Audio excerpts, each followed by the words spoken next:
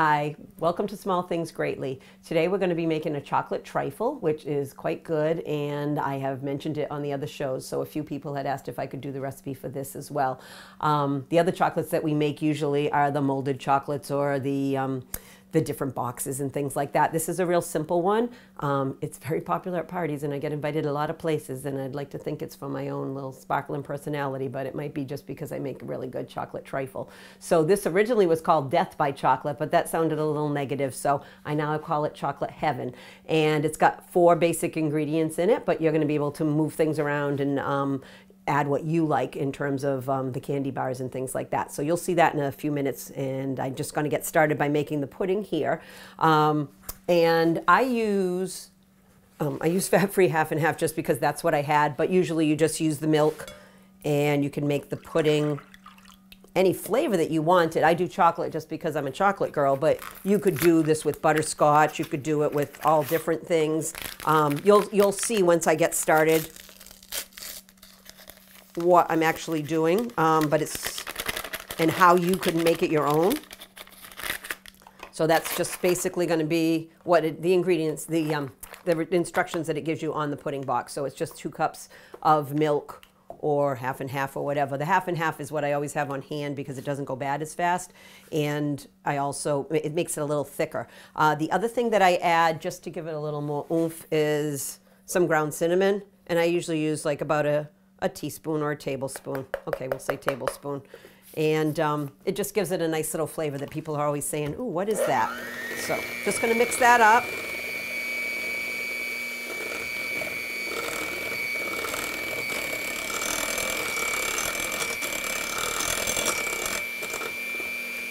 Doesn't take much. It's just gonna go right into the fridge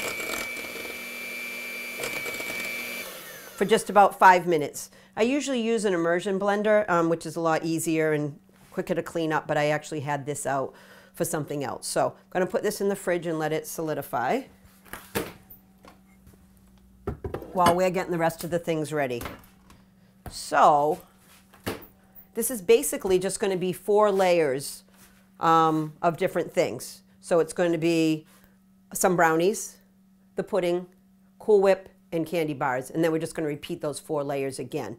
So usually in a bowl this size, I'll get uh, maybe two sets of layers. So there'll be eight layers. So we're going to do that. But for now, just going to put that aside. We've got this all set, so we'll get rid of it. And I had made the brownies ahead of time, but you could even get brownies that are already made up, like the little Debbie's, and break those up. Um, you can get the pudding already made in a can, which doesn't taste too bad. Um, so it's pretty simple, and you can make this as tough or as easy as you want, but it's, it's, I think it's pretty easy, even if you're doing the ingredients yourself um, and making the brownies and making the pudding. It's still a pretty quick dessert to put together. And you can make everything ahead and then just put it together the day of or the day before. I like to do it a little bit ahead of time so that everything can kind of marinate, if that makes sense, and get all the flavors all joined together. I like using a pizza cutter just because I always have one on hand. And I'll just make these small, and they can still get broken up a little bit more too. So, um, a trifle was made originally in England, and they were made from what I understand, to use up old stale cake. So I just like the brownies because they're a little denser, but I've seen this made with cake that was soaked in Kahlua, which is not a bad thing.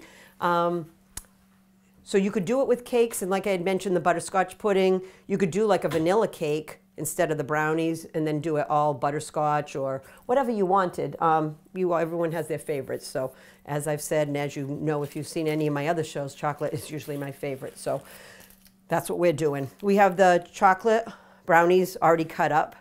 We have the pudding in the fridge. Uh, and I'm going to get the chocolate ready. And you can use just about anything for this. I like using Skor bars, which Skor bars or Heath bars, pretty much same thing. Um, and those you can even buy so that the pieces are already cut up and um, really small, or you can just get the little can, the little uh, candy bars that they give out at Halloween. You can get those and then just crush them up. Um, same thing with these. Now I like using the Reese's cups. You can make them as big or as small as you want for your pieces. To me, this is same way that you would chop onions and things like that, but much more fun because you can take some samples and to me it's much better, but that's just me. So I'm going to add these to the candy bar layer. And of course, you can make that layer whatever you want. Some people like Three Musketeers or Milky Ways, Snickers. I'm not too much of a peanut girl. I like peanut butter, but um, I'd rather not have peanuts in there. I don't want to have anything too, too hard to bite into when you've got this. It's just kind of nice. I've, I've tried it with M&Ms, like maybe even just putting little, the um, small M&Ms on the top, but um, they just like the shell's a little bit hard and you're not expecting it when you have all that other soft stuff like the pudding and the, the brownies and the Cool Whip. So I try not to do too much of that. But like I said, it's all personal preference. I also, I like Butterfingers, so you can get the Butterfingers already, um, these are the Butterfingers bites, and then I just crush those up. So I had already done it ahead of time, so these are already nice and small, but you could cut them up the same way that you would cut up the Reese's. And then, like I said, with the Heath,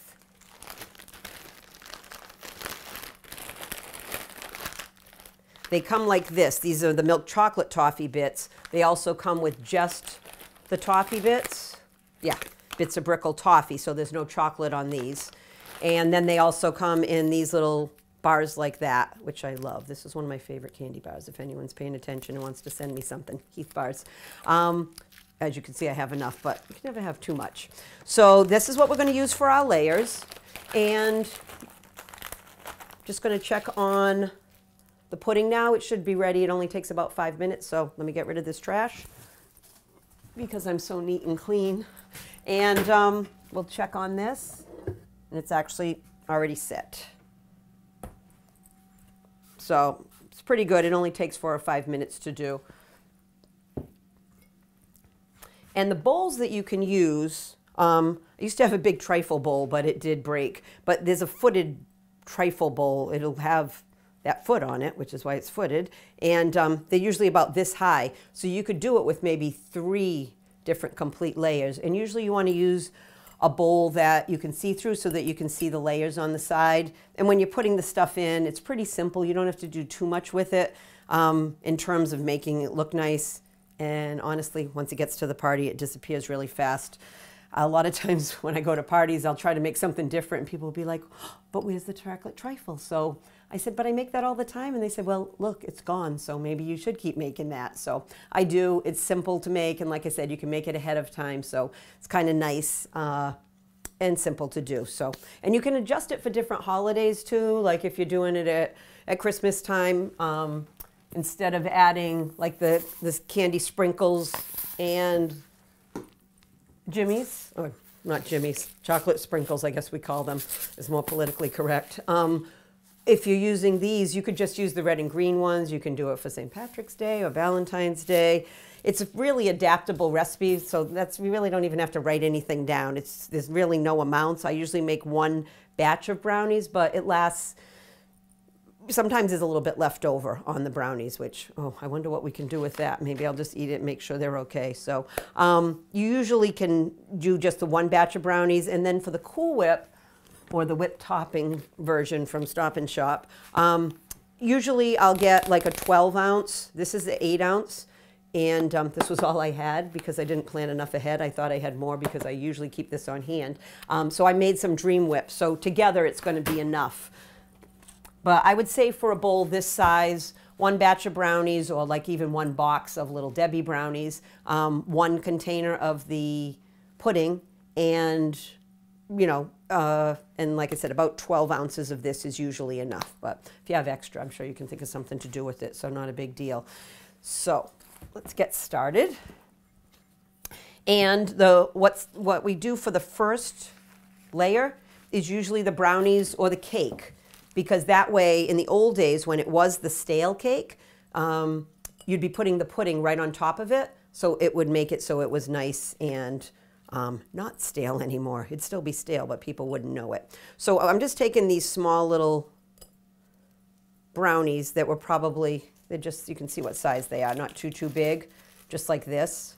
Um, I'm just taking them and breaking them up even a little bit more so that when you break into this and get a spoonful for people when you're getting a, you know, serving it, you, if you go all the way down, then you get like all the layers of things. So I try to spread it around and I try to make it so that there's enough on the sides coming up sort of so that you can kind of see the brownies when you're coming. You'll, you'll see as we go along. And the other thing is because I've used this bowl so many times for this particular dessert, I know that it, I'm only going to get the two sets of layers in there. So what I'll do is just use about half my brownies. You can kind of tell. You want to cover the bottom of the bowl with your brownies or your cake.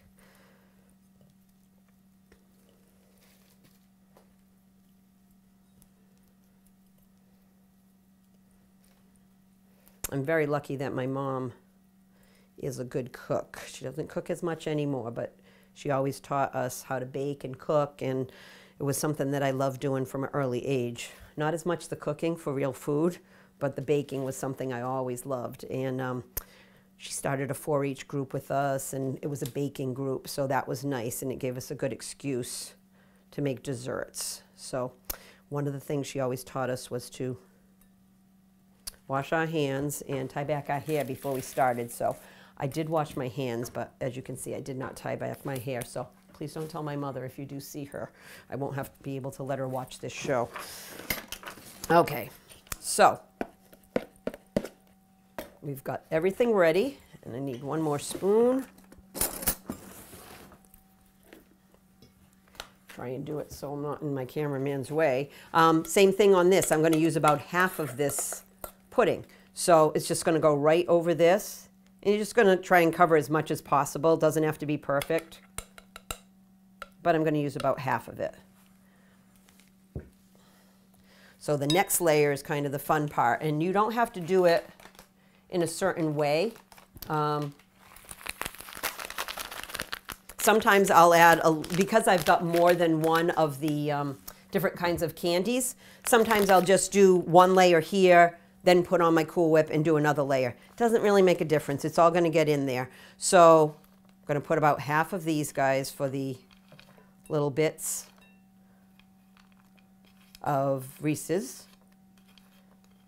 And the other thing I do is I get this stuff usually on sale after most of the holidays so that it's a little less expensive. Or sometimes the Dollar Tree will have like the Butterfingers um, in a little package of eight or 10, maybe eight maybe six. Six, six little bars for a dollar, which is still a good deal and usually cheaper than this stuff. So I'm going to pour a little bit of that on there. And then I'm going to use Cool Whip. Or this, is like I said, this is the Dream Whip that I use just because I hadn't planned ahead enough to actually have enough Cool Whip. And I don't know if the camera is going to be able to pick it up, but you'll start to see the layers on the side of this. And you can kind of spread it around so that you can see that you've got different stuff. That one kind of covered it, but here you'll see that you've got different layers in there. And then the third thing I was going to do was we did Butterfinger Reese's. Oh, and we didn't do the chocolate bit, the uh, the Heath bars. So we're going to add a little bit of that, and then that's our first set of four layers. So right there. And then we just start again. So we're going to use up probably most of the brownies. And you can see it's already about halfway up. Sometimes it gets so that there's, you can't fit everything in, but we'll just do our best. You can add and adjust and use a little less or a little more of something. But like I said, I try to make this so it's kind of small. And you'll be able to get a few bites in there.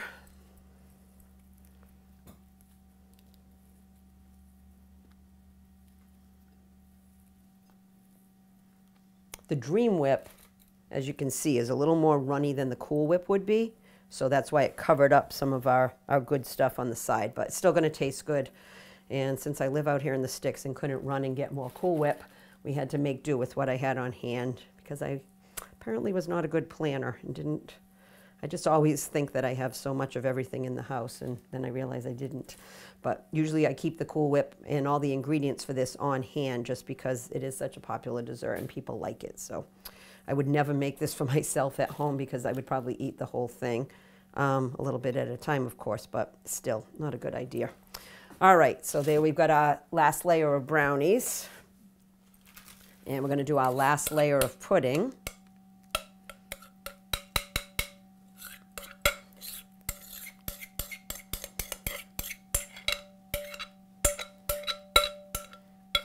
And if it doesn't go in exactly right, just move it around afterwards.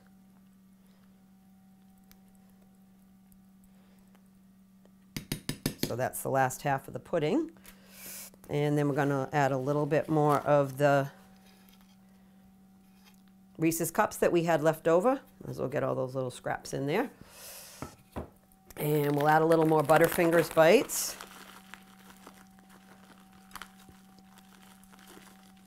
And like I said, if you make it a day or two ahead of time, it's no big deal.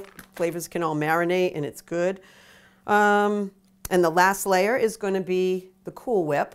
And what I do, or whip topping we'll call it, so we're not giving Cool Whip a plug.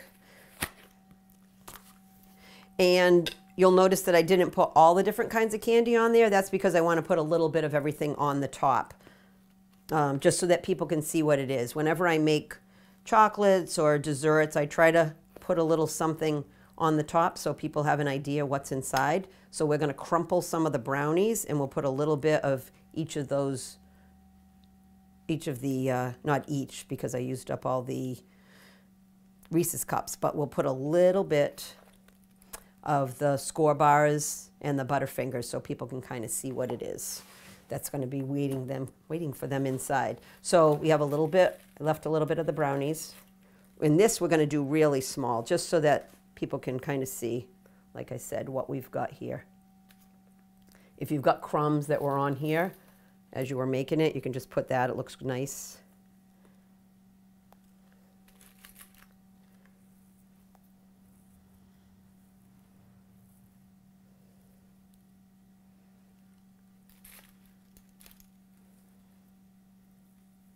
Then we'll add a little bit of the Butterfinger Bites and the Skor Bars.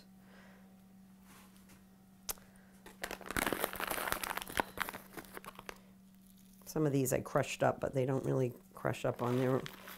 They looked a little bit big in there. So there's that. And then a few of the toffee bites. And some people, including myself, get a little confused about trifles and truffles and what the difference is. Um, and the truffle is usually, well, the truffle in regular cooking is that expensive truffle oil um, that comes from the mushrooms and is like $600 for a jar. But um, the truffles that we know as chocolate truffles, which are supposed to be like a high-end truffle um, in a high-end chocolate, those are just like a small chocolate that's very rich and dense. So that's what a truffle is as opposed to a trifle. And um, like I said, for a while I got confused too, but this is going to be a trifle, not a truffle. The truffles you're going to eat by themselves probably because they, uh, they're nice and rich. So I just add these, a little bit of the chocolate sprinkles. And sometimes if it's going to be for a kid's party, I will do um, the candy sprinkles, the colored ones. Or I'll do, like I said, the different colors for different holidays. And it's a pretty simple thing to do. And that is our chocolate heaven. And as you can see, we have a few bits of brownies left over that can be my dessert from lunch today. Um, here you can kind of see the different layers a little bit more. And um, like I said, pretty simple to make and you'll get invited to a lot of parties if you bring good desserts. I can vouch for that. So I hope you enjoyed being with us today and that you give this a try. Make it your own version. Let us know how you did. Um, I'd be interested to see what you, um, what you made and what kind of concoctions you did or what combinations you did because sometimes I love hearing different people's ideas for things and then it gives me good ideas too. So hope you enjoyed the show. Here's Chocolate Heaven and um, we'll see you next time. Hope you take time to appreciate the small things.